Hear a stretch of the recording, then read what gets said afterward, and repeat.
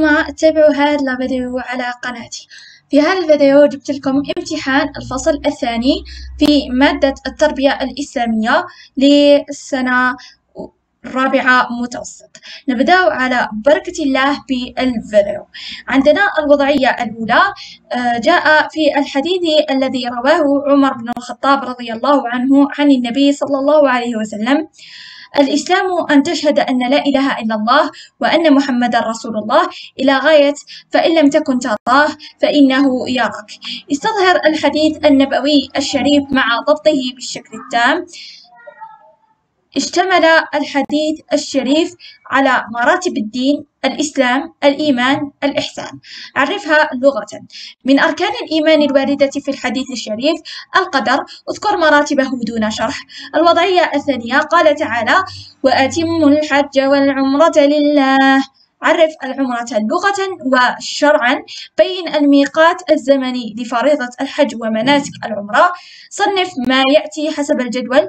واجب على القادر. سنة مؤكدة. ينتهي بتحلل واحد بعد إتمام السعي بين الصفا والمروة. عندنا الحج عندنا العمرة. الجزء الثاني الوضعية الإدماجية السياق. بعد دراستك لقصة موسى عليه السلام أثناء دعوته تأثرت كثيرا لصبره وعزيمته. من أجل الدعوة إلى الله الشيء الذي جعلك تقترح على زملائك إعادة القصة في ساعات آه، تغيب أحد أساتذتك. السنة قال تعالى بعد بسم الله الرحمن الرحيم. فاصبر كما صبر أولو العزم من الرسل ولا تستعجل لهم. الأحقاف 35 التعليمة أكتب موضوعا تتحدث فيه عن موقف موسى عليه السلام مع فرعون مستشهدا بما تحفظه من نصوص شرعية. ذاكرا أهم الدروس والعبر. لدينا في إجابة نموذجية استظهار الحديث النبوي الشريف كتابيا مع ضبطه بشكل تام. عن عمر بن الخطاب رضي الله عنه قال الإسلام أن تشهد أن لا إله إلا الله وأن محمدا رسول الله وتقيم الصلاة وتؤتي الزكاة وتصوم رمضان وتحج البيت إن استطعت إليه سبيلا. قال صدقت. فعجبنا له يسأله ويصدقه قال فأخبرني عن الإيمان. قال أن تؤمن بالله وملائكته وكتبه ورسله ورسله واليوم الآخر وتؤمن بالقدر خيره وشره. قال صدقت. قال فأخبرني عن الإحسان. قال أن تعبد الله كأنك تراه فإن لم تكن تراه فإنه يراك. رواه المسلم. التعريف اللغوي لمراتب الدين الإسلام الإيمان الإحسان. الإسلام لغة الإنقياد والخضوع والاستسلام لله تعالى. الإيمان. لغة التصديق والاعتقاد الجازم. الإحسان لغة من الفعل أحسن بمعنى أحسن وأتقن أو أجاد أتقن آه، هنا راهم قالوا لهم بلي يديروا تعريف لغوي. يعني déjà هو شرط لهم تعريف لغوي. لو كان يذكر لك فقط يقول لك دير لي تعريف راح تذكر له التعريف اللغوي والتعريف الشرعي أو الاصطلاحي. نروح دوكا إلى تعريف العمرة. لغة هي زيارة. يقال اعتمر فلان آه، فلانا إذ زاره آه، شرعا هي عبادة ذات إحرام من الميقات والسعي بين الصفا والمروة والطواف بالكعبة. الميقات الزماني لفريضة الحج ومناسك العمرة. الحج يبدأ وقت الحج من أول يوم في شهر شوال إلى غاية نهاية أيام التشريق 11 أو 12 من شهر ذي الحجة أو ثلاثة عشر من شهر ذي الحجة. العمرة تؤدى في سائر أوقات السنة ما عدا يوم عيد الأضحى والأيام الثلاثة الموالية له. التصنيف الحج واجب على القادر. العمرة سنة مؤكدة ينتهي بتحلل واحد بعد إتمام السعي بين الصفا والمروة لأن الحج ينتهي بتحللين. والحج هو واجب ليس مثل السنة التي تكون عفوا ليس مثل العمرة التي تكون عبارة عن السنة بالنسبة للوضعية الإدماجية تاعنا راح نحاول كيف ندير وضعية إدماجية بالانقياد بهذا الجدول اللي راكم تشوفوا فيه. أول حاجة لازم كي تكون دير في الوضعية الإدماجية راح يعطيو لك هذا الجدول هذا الجدول هو اللي حينقطوا عليه. هما ما راح يكتبوه لك في ال sujet mais آه بعد كي تكونوا تصحوا راح تشوفوا الأستاذ تاعكم ولا الأستاذة تاعكم. هذا هذا الجدول راح تنقط لكم عليه بكافة أنواع الوضعية الإدماجية فيه معايير وفيه مؤشرات.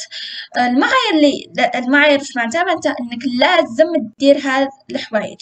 لازم دير هاد الحوايج. تاع الملائمة الانسجام سلامة اللغة الإبداع والإتقان. والمؤشرات هما الحوايج اللي أكد لي بلي درت هاد المعايير. يعني كي تحترم حجم الموضوع راك دخلت في الملائمة. يعني طبقت لي معيار الملائمة.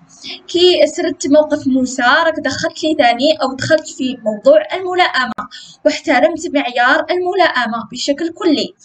كذلك في تسلسل الأفكار راك يعني كي درت هذا المؤشر كتشوف الأستاذة بتاعك متسلسل في الأفكار تاعك وعندها ترابط. كيف تعرف بلي متسلسلة ومترابطة بحروف العطف الواو الفاء ثم حتى أو أم؟ يعني هاد الحروف راح تعرفك باللي راك آه، متسلسل في الأفكار ومترابط وباللي كي تقول آه، ذهب مثلا نحكيو على آه، جملة بسيطة مثلا ذهب عمر إلى المدرسة و ما نقولش ثم عفوا ما نروحش نبدأ بال الذهاب قبل الاستيقاظ والاستيقاظ قبل الذهاب يعني لازم يكون عندهم تسلسل في الأفكار وترابط. يعني تكون مربوط بالأفعال اللي تستعمل فيها. مثلا درت استيقظ ابدأ بالاستيقاظ أولا بعد تروح للذهب ما تروحش أولا بعد تروح للاستيقاظ. هذا راهو علامة من علامات أنك ما درتش تسلسل الأفكار وترابطها غير حروف العطف الغير موجودة. يعني هذا داخل في تسلسل الأفكار. كذلك احترام المنتوج المنتوج تاعنا ولا الموضوع تاعنا دائما في التربية الإسلامية يعادل اثنا عشر سطرا فقط. لا يتجاوز أكثر من هذا ولا يقل عن هذا. يعني آه كي يقول لك 12 سطر محسوبين قد قد حتى le point final ما تكبر خطك ما تصغر خطك ما تحشر خطك. راح يكون خط آه normal وراح تدير الحجم نتاع الموضوع تاعك بخطك العادي. يعني ما تكبرش بزاف باش تبان بلي درت المنتوج كبير والله ما تصغرش بزاف باش آه تحشر الكلمات وتبان تاريخ بلي درت آه وضعية إدماجية فيها 12 سطر بصح الكلمات راهم بزاف وكثيرة هذه الحاجة تاني حتضرك في المنتوج. بالنسبة وأصلا المنتوج معليش بزاف نقطة عليه نص النقطة لهذا آه لو كان ما تكونش احترمتو يعني راح يروح لك عليه نص النقطة. كذلك هنا قال لك يسرد موقف موسى عليه السلام مع فرعون مستخلصا منه أهم الدروس والعبر ومستشهدا بما يحفظه من نصوص الشرعية تبدأها بمقدمة دير عرض وبعد تروح دير الخاتمة تاعك. يعني لازم تكون متسلسل في الانسجام تاعك ولا في الملائمة تاعك.